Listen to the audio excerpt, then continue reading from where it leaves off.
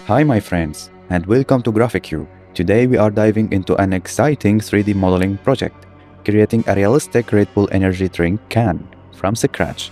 I recommend starting with part 1 to catch all the tips and tricks that can help you along the way.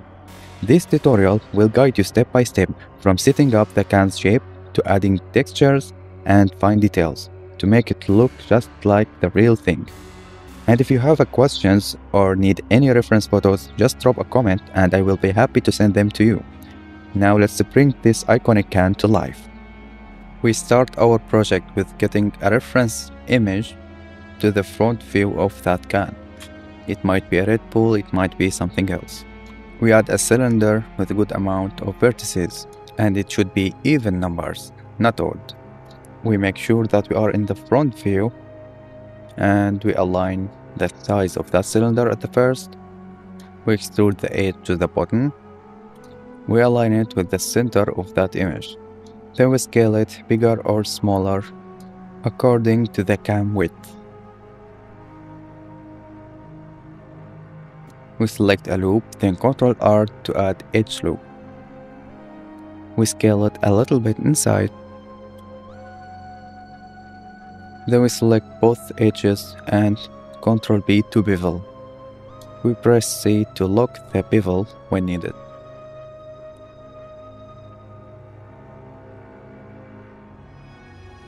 I want to select the bottom edge, holding Alt and select.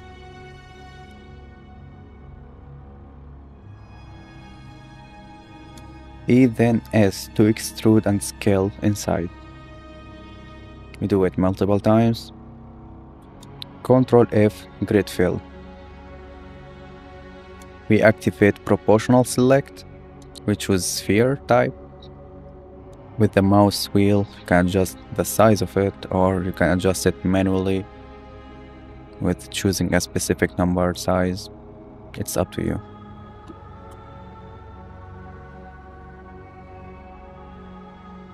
After we figure it out, we push it a little bit inside.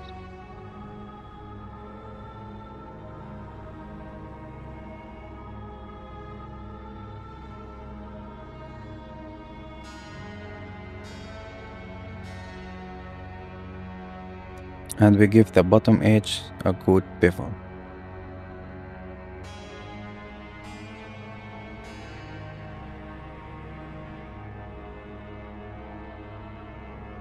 Now we will work with the over section. We select this edge and we extrude it to the top and we align it with the center. Extrude one more time. We turn off the proportional selection. Here I want to make it like the real can. I want it to get to the inside, then comes once more to the outside. It will give a good depth for the shadow. We select the ring loop, we add a cut loop. You have to scale it a little bit inside, then we give it a bevel to support the edges.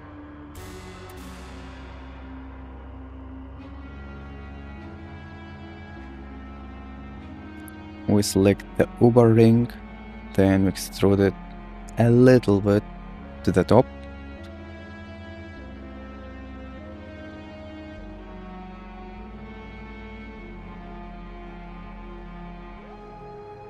we stay in the front view, we need to extrude and scale it a little bit outside.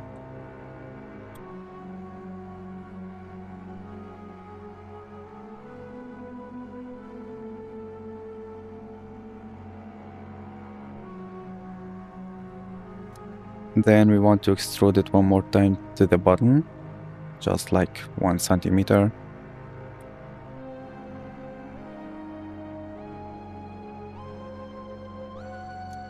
After we extrude it down, we want to scale out a little bit. Then we extrude upward to the top.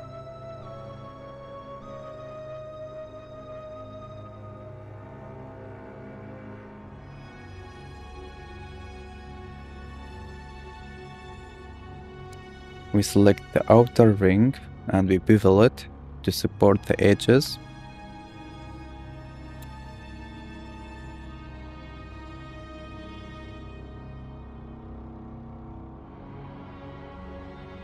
And that's pretty much it for the can body. That's the easy part.